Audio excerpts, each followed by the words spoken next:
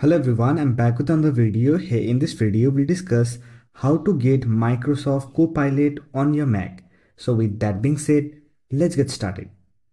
To install Microsoft Copilot, simply open Safari browser and visit copilot.microsoft.com. And after that, simply click on sign in button and you can sign in with your personal account or work or school account. Simply select the sign in option and sign in to Copilot. After that, here on the top menu bar, click on File, then click on Add to Dock, and here click on Add. And it will add Copilot icon to the dock.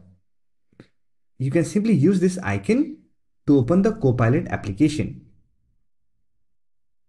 You can also open Copilot from the Launchpad. For that, click on Launchpad icon here look for Copilot application. Simply click on it and here we have the Copilot application.